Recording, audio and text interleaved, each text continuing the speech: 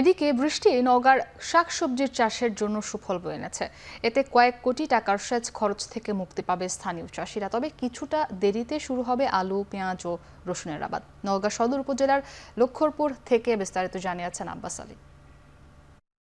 ঘূর্ণিঝড় দানার প্রভাবে গত কয়েকদিন থেকে নওগাঁয় বৌরি আবহাওয়া বিরাজ করছে। এতে করে মাঝে মধ্যে গুড়ি গুড়ি বৃষ্টি হচ্ছে আর এই বৃষ্টির কারণে বিশেষ করে আগাম যেসব শাকসবজি রয়েছে সেগুলোর বেশ ভালো উপকার হয়েছে। বিশেষ করে বলা যায় যে ফুলকপি বাঁধাকপি, সিম সহ অন্য যেই সবজিগুলো রয়েছে সেগুলোর জন্য ভালো উপকার হয়েছে বলে কৃষকরা জানিয়েছেন। কৃষকের সঙ্গে কথা বলেছি তিনি জানিয়েছেন যে বিশেষ করে এই আগাম শাকসবজিগুলোতে শ্যালো মেশিনের মাধ্যমে সেচ দিতে গিয়ে প্রতি বিঘাতে প্রায় পাঁচশো থেকে ছয়শো টাকা পর্যন্ত তাদের খরচ হয়। একবার সেচ দিলে কমপক্ষে দুই সপ্তাহ পর্যন্ত সেচ দিতে হয় না। তবে এই বৃষ্টির কারণে তাদের বেশ ভালো উপকার হয়েছে। অর্থাৎ তারা প্রায় পাঁচশো থেকে ছয়শো টাকা বিঘা প্রতি এই সেচ খরচ বেঁচে গেছেন। এতে করে বলা যায় যে প্রায় কয়েক কোটি টাকা সেচ থেকে কৃষকরা বেঁচে গেছেন। তবে বেশি পরিমাণ যদি বৃষ্টি হয়, তবে এই শাকসবজির জন্য কিছুটা ক্ষতি বয়ে আনবে বলে কৃষকরা মনে করছে। তো এই ছিল আমার কাছে শাকসবজি এবং এই বৃষ্টি নিয়ে